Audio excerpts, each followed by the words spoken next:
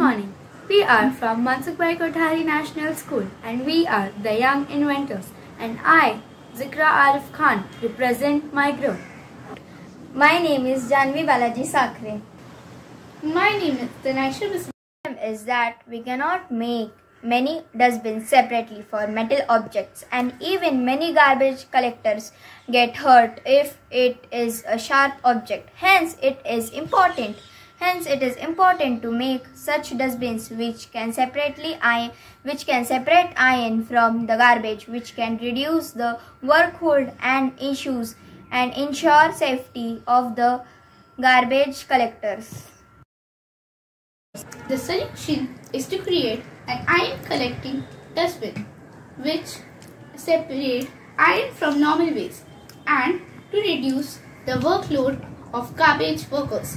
These dustbins also decrease the chances of injuries.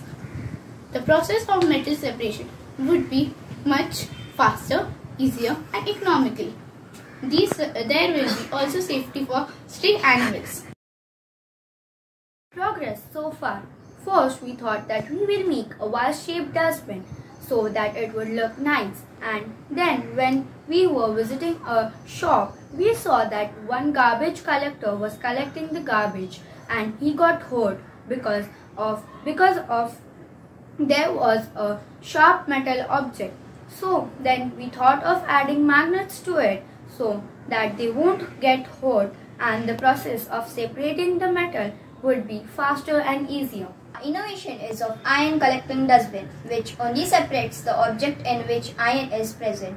We are even working to implement this by making all types of metals collecting dustbins, which, which will separate all types of materials including the metal objects which are not attracted to magnet.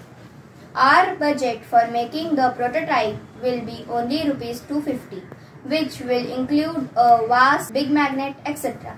Thank you. Like, share, subscribe to our video.